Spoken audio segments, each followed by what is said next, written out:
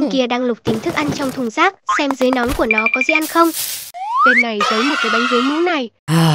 Buồn quá, không có gì ở đây cả. Này này, bánh mì đấy của tớ mà, cậu đừng có hòng ăn nó nhé. Ôi, trên trời có cái gì hay lắm. Cái bánh của mình đầu rồi, cái tên chết tiệt này. Tên kia mau trả bánh lại cho ta, đứng lại mau. Ôi, hãy hôn tớ đi, thật đắm đuối vào nhé. Cậu đừng có mà mơ tưởng nhé. Tên điên này, tớ sẽ cho cậu một trận. Bình tĩnh lại nào, để tôi nấu một món ăn cho hai bạn nhé. Cho bánh mì vào lò nướng. Bật chế độ nướng 5 phút cho bánh mì giòn tan. Lấy thêm một chút rau nữa. Bánh mì đã nướng chín rồi. Lấy ra khỏi lò vi sóng. Cắt bánh làm đôi, cho hai lát rau lên bánh.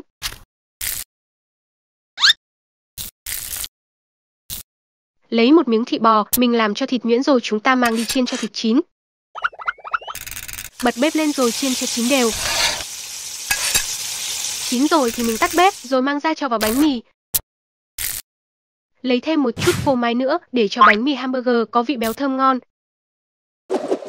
Chủ tài nghệ múa dao, mình cắt thêm một vài lát cà chua nữa.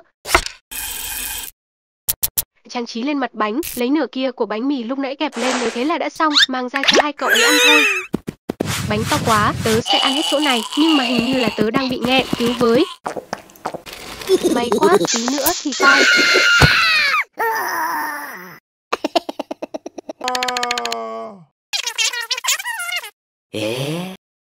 Okay.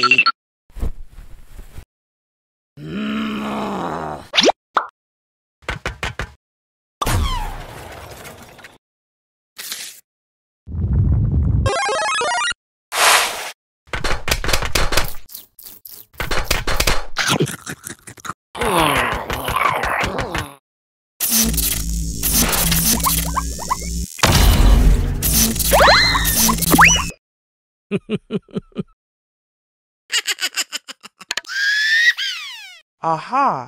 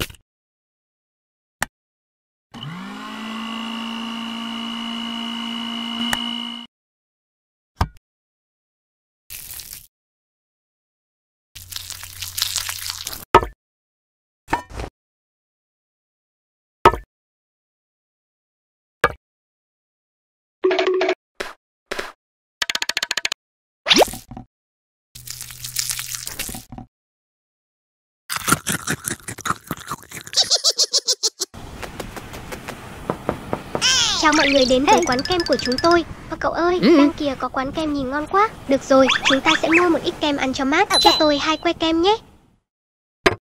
Tiên mình phải đổ sữa vào bát. Ra một quả trứng. Thế này là được rồi đấy, phải quấy đều sữa và trứng vào với nhau. Bây giờ phải bật bếp lên rồi nấu cho chín. Mình cần thêm một chút hoa quả nữa, sẽ lấy quả bơ này đi. Cho vào máy xay để xay nhuyễn nó ra. Và cắt thêm một chút thanh long nữa.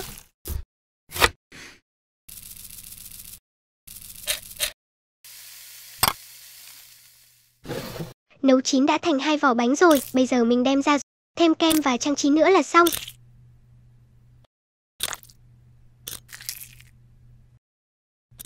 Quế siêu ngon rồi đấy, mang ra cho khách thôi nào. Kem của hai quý khách đã xong rồi đây, mời mọi người thưởng thức. Này ăn xong rồi thì gửi tiền cho tôi nào. Hả? Cái này, tức quá.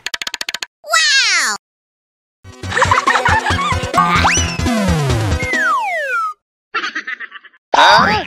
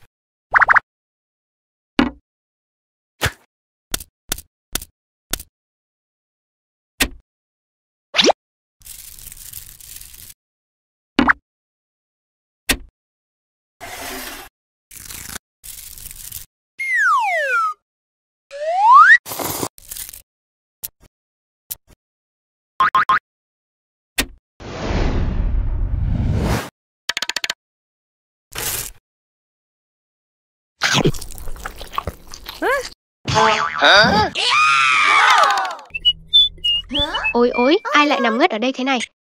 Chắc là trên sa mạc vừa đói vừa khát đây mà. Được rồi, mình sẽ làm thịt con bò để giúp đỡ cậu ta. Trời nóng thế này, chỉ cần để thịt ngoài trời thôi cũng sẽ chín rồi. Đấy, thịt chín vàng rồi, mang vào thôi.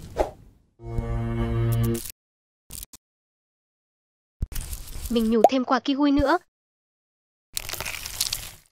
Cắt thành hai lát mỏng. Lấy vào cho vào bát. Cho thêm một chút muối vào nữa.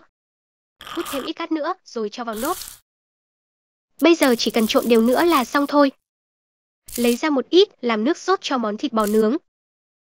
Hình như là thiếu nước nữa, mình chọc vào thân cây xương rồng và lấy một chút nước. Thế này là xong rồi đấy, mình thử một miếng xem thế nào. Ngon quá, siêu thơm luôn. Mùi thức ăn ở đâu mà thơm thế này, cho tôi một ít với, tôi đói quá.